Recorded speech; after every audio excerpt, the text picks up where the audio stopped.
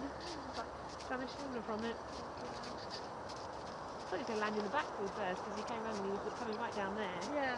And then he just seemed to sort of over the fence and land in the Oh, we're going to roll.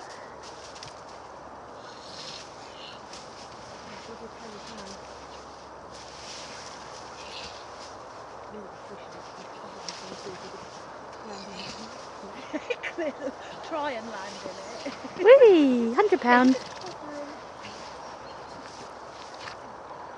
through and through. You can scout the area.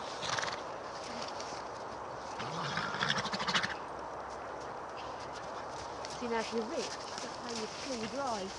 You come home in your helicopter.